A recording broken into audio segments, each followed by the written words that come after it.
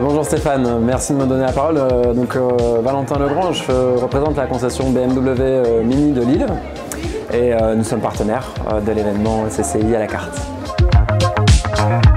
Alors la participation elle est naturelle. Euh, la CCI est un acteur euh, économique important de, la région et euh, BMW souhaite se marquer et être proche des entreprises de la région. Donc c'est important pour nous d'être partenaires sur cet événement. Envisage de s'engager dans le long terme. L'idée c'est de, travailler ensemble, de décrire une histoire ensemble même pourquoi pas.